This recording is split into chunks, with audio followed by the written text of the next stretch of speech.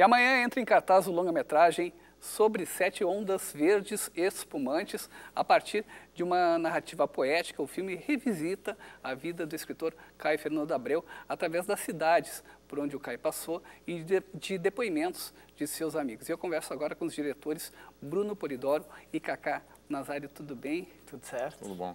Uh, Bruno, Cacá, como foi então uh, montar essa narrativa a partir das cidades e dos amigos, né? Uh, e essa relação com a obra do Caio? Quer começar?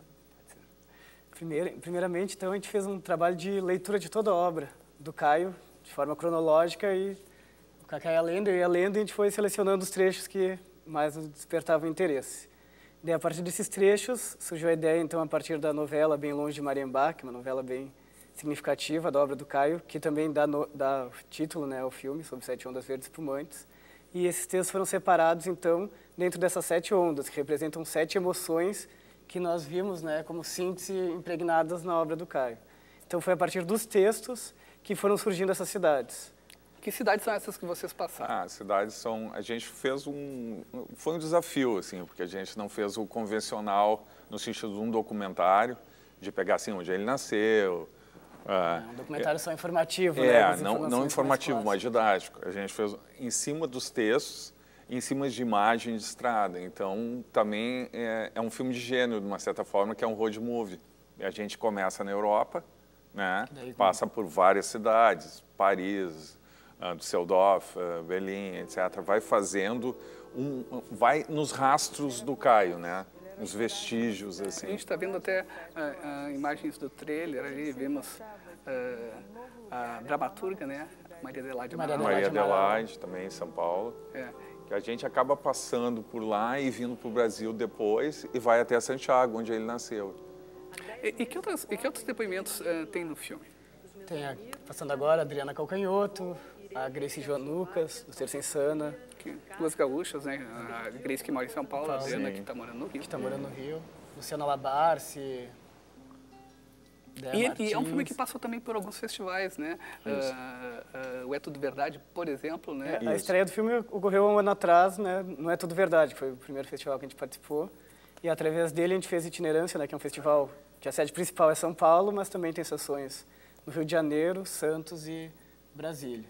Aí foi o start do, do processo. Aí entrou no, em vários outros festivais, Sergipe, Curta-se. Curta, Gramado, vai dizendo Mix. Mix Brasil, Festival da Fronteira lá em Bagé. Festival da Fronteira, Close, etc. E a primeira exibição aqui em Porto Alegre foi na abertura do Close, que ocorreu em dezembro do ano passado. E agora ele faz uma temporada, né, ele tem cartaz a partir de amanhã no Santander Cultural, né? Uh, e depois disso já tem também algumas salas que ele Já tem. Logo depois né, do Santander entra em cartaz na Casa de Cultura, Mário Quintana, aqui em Porto Alegre.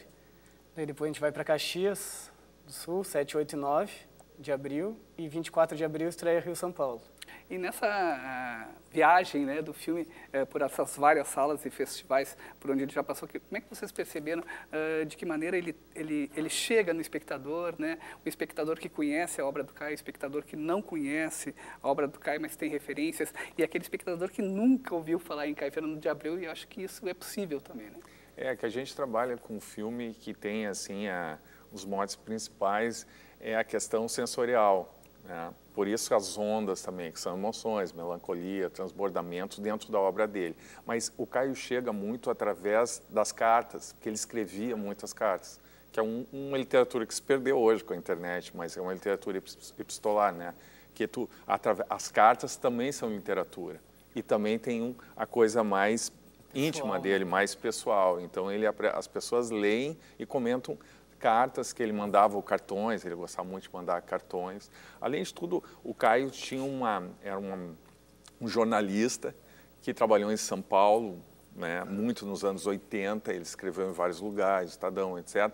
E, e foi uma geração que veio ali da pós-ditadura, ele antes ainda, né, nos anos 70, mas que teve uma outra voz, né, e foi pioneiro em várias questões, né, mesmo na, na questão da literatura, colocar ah, já casais homossexuais, etc., aqueles dois, em vários. Então, ele foi pioneiro e ele se ele ia para o enfrentamento, né, com as coisas que ele pensava, assim, é combativo, né. Então ele tem, tem os dois lados, tem ele ele escritor E ele- e, e ele é, militante também, não militante no sentido tradicional, mas de enfrentamento. Cacá Bruno, brigadão pela participação Então tá, de vocês obrigado. aqui. Eh, lembrando então que o filme ele pode ser visto a partir de amanhã eh, no Santander Cultural, ali na rua 7 de setembro, 1028. E hoje é o Dia Nacional do Circo e Dia Internacional do Teatro. E lá na Casa de Cultura Mário Quintana acontece uma celebração em homenagem a essas duas datas a partir das 8 horas da noite. Vai ter números de malabarismo, palhaços e outras performances circenses, além de discotecagem. Tudo isso poderá ser conferido então na Casa de Cultura Mário Quintana. Bom, antes do intervalo, fiquem com imagens do espetáculo Corteu do Cirque du Soleil, que segue em cartaz aqui em Porto Alegre até o dia 13 de abril. É um instante só, daqui a pouco a Estação Cultura está de volta.